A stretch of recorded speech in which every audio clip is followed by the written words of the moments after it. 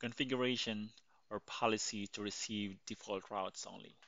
So if you have this kind of setup where you have R1 and R2 and they are both connected to the internet and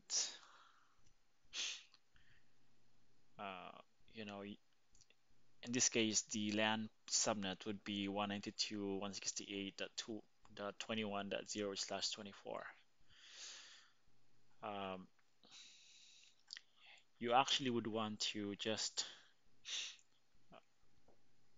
receive or you prefer to receive the default route only like default routes only. So what you are going to do is actually configure a prefix list and just permit the default route which is this and then you can also I mean you can create a route map and then match the prefix list you know in this case the default the default only prefix list and apply it inbound to the neighbor. So in this case, the neighbor is this 192.168.31.3. So this is how you actually configure, uh, in this case, switch, I mean, in this case, R1 to only receive the default route. And you will have the same uh, configuration on R2. So same.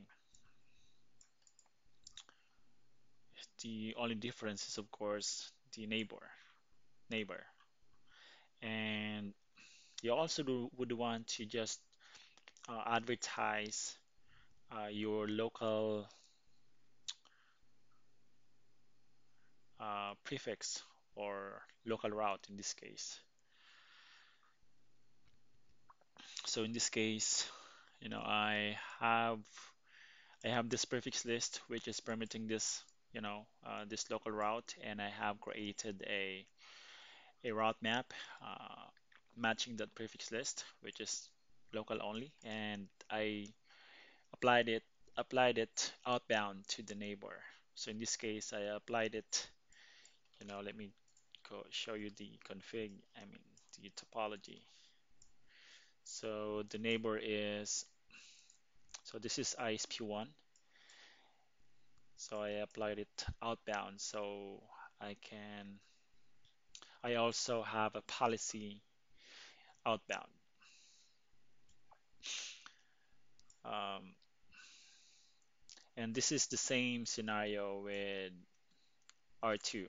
The only difference is the only difference is of course the neighbor, which is ISP1 and of course I set a AS path prepending in this case or just prepending. AS prepending. So let me just actually do a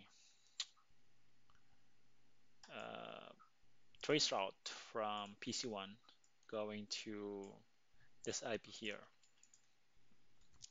Trace route.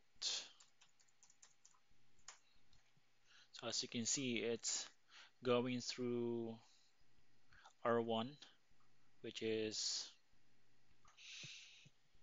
you know dot one or 192.168.21.1 and ISP1 which is dot one dot 31.3 and it gets to the it gets to R6 which is dot 63.4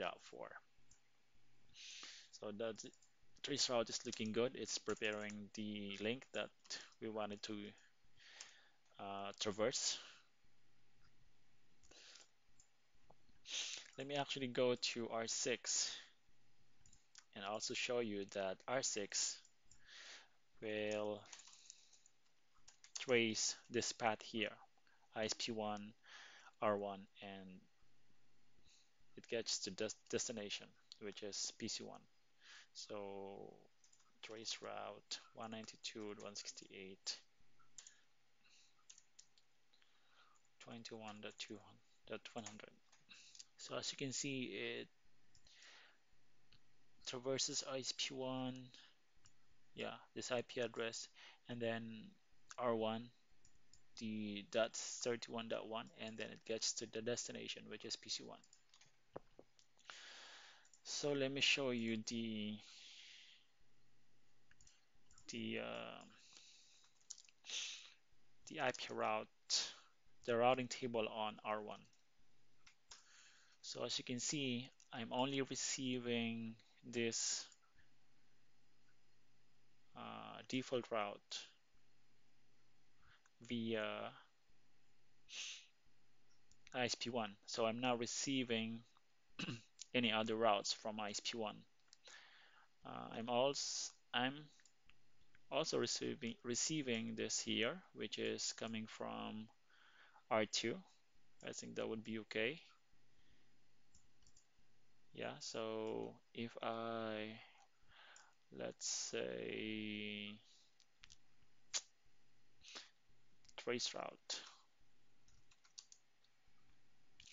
Let's trace route ISP2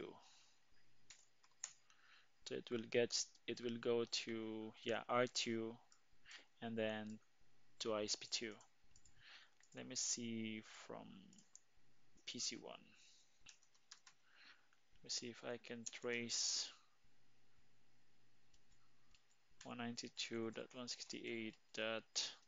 192.168.42.4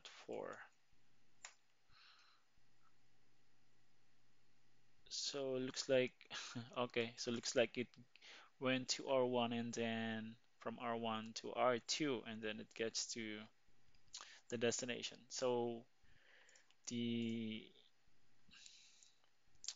the IP routing table on R1 is uh, seems okay. So this is fine. So let me go to R2 and just check the routing table as well. So in this case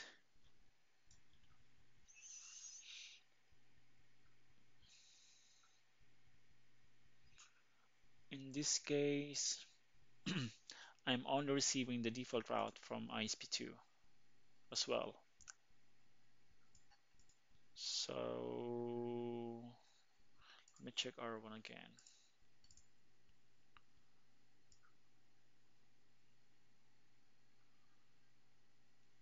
Okay.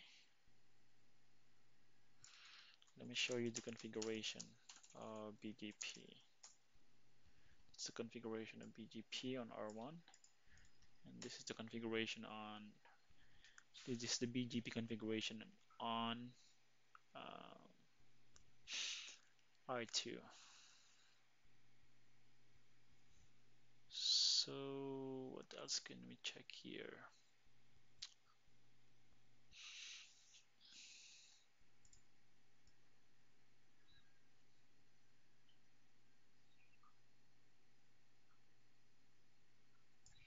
Yeah we can also advertise the this here actually but I think that's fine so yeah that's it. That's how you can uh, set up a policy inbound so that you only receive the default route not the entire internet routing table. So yep that's it in this video. Thanks for watching